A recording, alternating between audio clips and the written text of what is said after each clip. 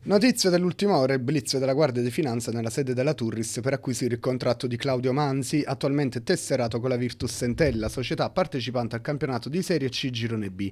Il calciatore è sotto i riflettori della Procura per via della trattativa legata all'acquisto di Victor Osimen da Lille, società francese.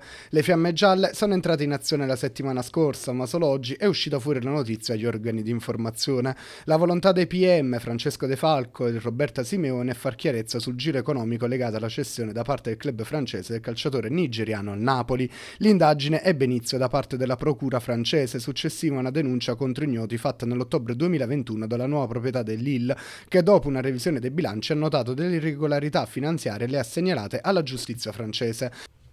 Il prezzo di Osimen è stato di 71,246 milioni di euro, più 10 milioni di bonus con il pagamento dilazionato in 5 anni. Nell'operazione, 4 tesserati del Napoli, di cui 3 primavera, erano passati a Lille con queste valutazioni: Orestis Carnesis 4 milioni e 8, Ciro Palmieri 7 milioni, Claudio Manzi 4 milioni e Luigi Liguori 4 milioni.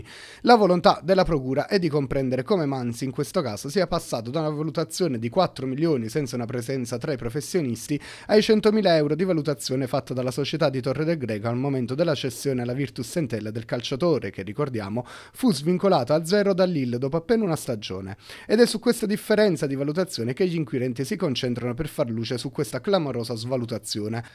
Da ricordare che la giustizia sportiva aveva già assolto il Napoli, il procuratore Chinè ha la facoltà di chiedere le carte dell'inchiesta alla Procura di Napoli per verificare se sussistano fatti nuovi e rilevanti rispetto a quelli del primo processo che si era chiuso con l'assoluzione del Napoli e dei suoi dirigenti. La giustizia sportiva si era già occupata della vicenda del primo filone dell'inchiesta plusvalenza senza rilevare però illeciti.